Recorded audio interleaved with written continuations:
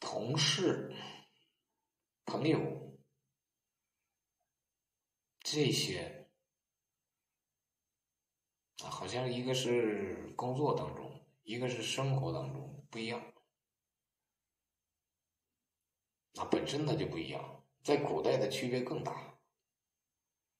古代这个朋跟友就不一样，一个是呃师出同门，这个朋这个字两块肉，啊就是一个地方来的，然后有啊两个人牵着手，志同道合。也即为同事，还不一定能同事，但是，嗯，俞伯牙种的气是吧？高山流水，就一个农民砍柴的路过，那么也叫知音。同为一个事儿，同样欣赏音乐，懂，不然就是。对牛弹琴，就是这么绝对啊！两个人如果是没有非常深厚的缘分，他不会感召在一起。那么多人，你怎么你们两个就能成为朋友，成为夫妻，是吧？一方面是上天注定的，一方面。哪生哪世都是自己造的啊！从这个科学玄学的角度，这个什么量子纠缠、波振动、频率感召，你此时此刻为什么认识这样的人？你要好好想一想。除此之外呢？啊，就上下级。说的同事啊，我们是同部门的，或者是同啊创业的，或者是不同部门但是等级一样。我们到了这个年纪大了，很多就是来往的。往往都是一些同事，大多数人还都是普通上班的，没有接触太多外界的圈子，可能会啊创业的、当官的，啊，接触的人大一点儿，呃，广一点儿，啊，一些特殊这个行业的，怎么怎么样？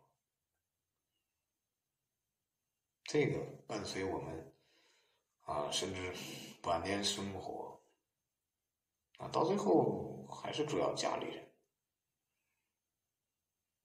啊。但是日常的来往，一个人太孤单寂寞了啊。你搞这个，我家里人也不懂，说不听，我就一个人搞，那很无聊嘛，很无助嘛，所以。都需要，你会发现我们课程很多是跟这个啊人打交道，尤其是中国人都是跟人打交道，啊外国人就不是，啊外国人要么就啊说是啊自然，实际上他们一点都不自然，人造了一些东西，奇奇怪怪的，奇技淫巧，在中国古代。不让乱搞这些，那科学做出来一些东西确实是方便了，但是人被物化了，我造出来机器人，整天我这神都在这个机器上，啊，起来也是他，啊，睡觉我也要看一看，不看心里痒痒难受，那谁在控制谁呀？人家就不动嘛，人家就一个死的程序，就就那样了。让他怎么样怎么样了？他知道你是谁呀？你认识他，他不认识你。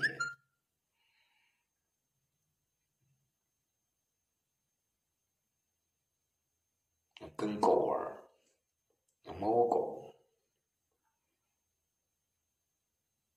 都是跟外国学的，都是外国溜。宠物偶尔乐一乐行了。啊，我们这部分先不延展。那么还有就是上下级，上下级该怎么处理？该怎么承上启下？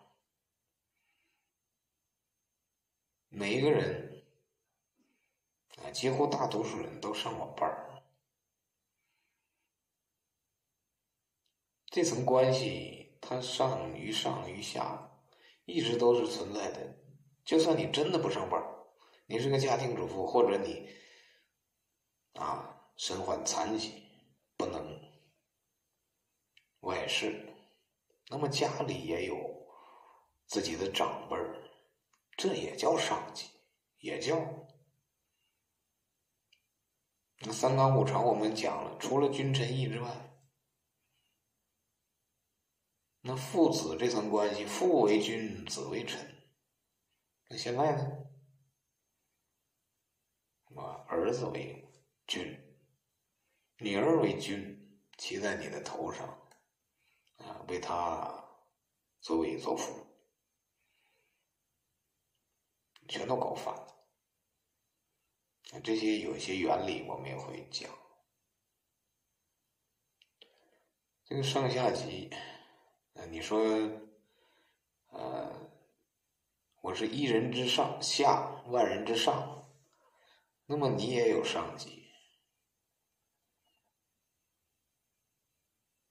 所以呢，有些事情都是难以避免的。你这个真的要修这一课，就算你创业啊，就算你怎么样，总要管你的部门管你的平台，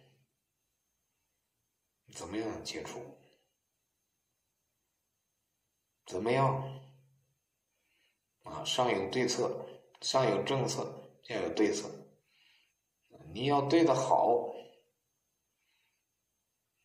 如果他的政策不够合理，不够具体问题具体分析，不够好的话，那么就要对策。我好的话，那你就不要动歪脑筋。有人带领你，你就跟着走嘛，反而轻松。想不通，就是想不通。那么下级部署啊，这些都是要跟人打交道啊。外国除了跟物打交道，整天物理是吧？